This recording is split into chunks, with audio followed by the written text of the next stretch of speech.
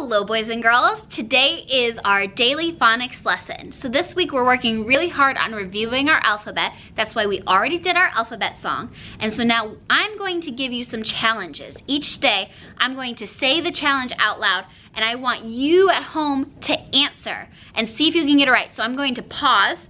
I want you to say your answer out, out loud and then I will tell you what the answer is and I want you to see if you got it right. And we're gonna work on phonics. So the first game is rhyming. Now quick lesson before we get into it. A rhyme is when two words end the same way. So for example, the word man and ran rhyme because they have the same ending, an. So man and ram rhyme. Now, does man and mit rhyme? Man and mit do not rhyme. They have the same beginning sound, m, m, m, but they do not have the same ending sound. Listen, m, an, m, it. Nope, they don't rhyme. But man and pan do rhyme. So we're gonna play a game. It's called Do They Rhyme, Yes or No, okay? So I'm going to say two words. You're gonna give me a thumbs up if it rhymes, thumbs down if it does not rhyme.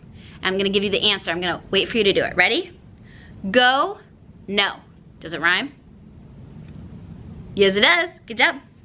Yes and me. Yes, me. Do they rhyme? Nope, they do not. Sad, mad. Do sad and mad rhyme? Yes, they do. Good job. Out, pig. Out and pig. Do they rhyme? Nope, they don't. Good job. Run, fun. Do run and fun rhyme? Yes, they do. Good job. In, lap. In, lap. Do they rhyme? Nope, they don't. Rip, bag. Rip, bag. Do they rhyme?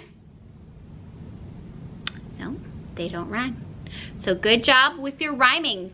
We're gonna work on that a lot this week. A, a, fun extra homework assignment that you could do is you could try to make up a list of three words, three different words, and each of them have a rhyme. So you could think of three different words, and for each word, think, what's a word that rhymes with that word? I wanna see if you can come up with them on your own. You can do it, I have good faith in you.